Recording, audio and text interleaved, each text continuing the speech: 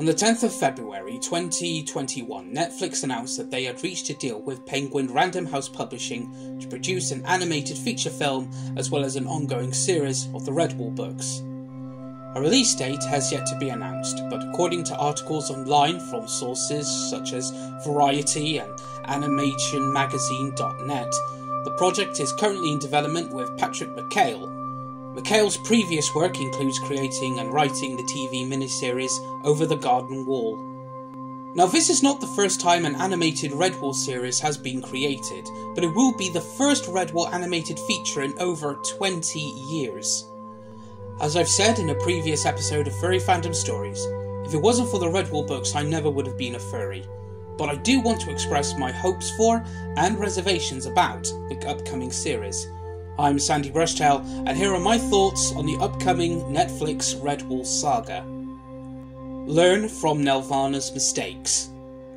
The biggest mishandlings Nelvana did of the Redwall property were evident in the first season. The first two episodes of the Nelvana animated series were a heavily abridged telling of the first book, and a lot of the original material was also heavily edited and altered. This led to important plot events that were supposed to occur towards the end of the novel taking place in the first half of the series.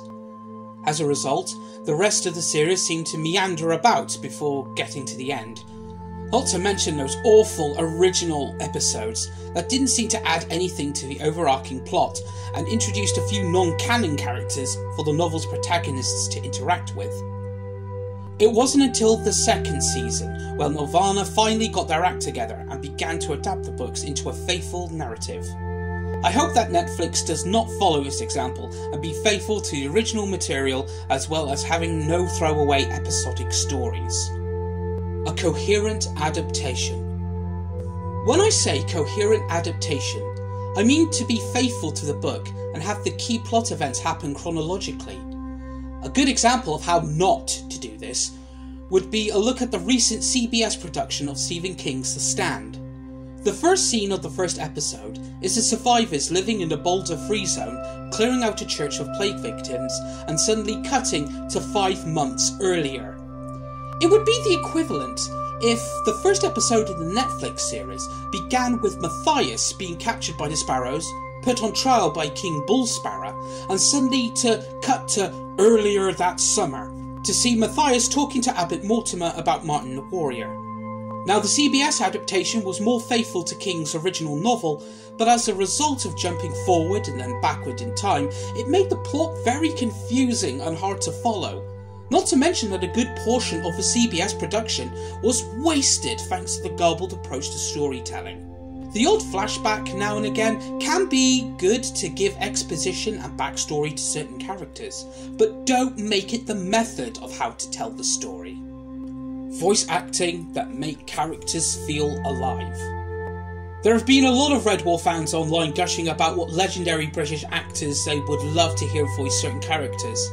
The usual suspects keep cropping up, names like David Tennant, Sir Patrick Stewart, Miranda Richardson, Hugh Laurie, Daniel Radcliffe, Sir Ian McKellen, Joanna Lumley, Emma Watson, and Stephen Fry.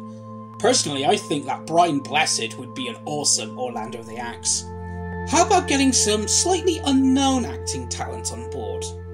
Be a good jumping off point for them. When it comes to voice acting, what I want to hear is emotion in their voices, not to drone out their lines and make them sound indifferent to the events that's happening around them. I also don't want to hear a group of Anglo Canadians trying to do their best Dick Van Dyke and Mary Poppins impression. Make me fall in love with the books again. The last Redwall book I ever picked up and read was Triss, and it's that book which made me fall out of love with the series.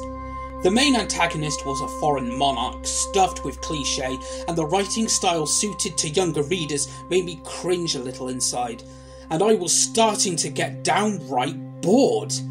If you're a fan of a certain book series, and you find yourself skimming along the pages instead of reading intently, it's time to give it a rest. I would still pick up and read Martin the Warrior, Mal Fox, or Redwall from time to time, but Triss was the last Redwall book I ever bought, and my highest hope for this new Netflix series is to get me invested again, where I want to pick up and read the books I've missed out on, books like Doomwyte and Loamhedge. Conclusions I know it's common practice on the internet to say everything is rubbish without giving the subject a chance to defend itself, but you know what? I'm hopeful. Considering all the good content Netflix has given us over the years, like Bojack Horseman and Beastars, I'm curious as to what Patrick McHale and Netflix will bring us in the coming years. Thanks for watching. If you like what you saw, please leave a thumbs up and subscribe if you haven't already. You can follow me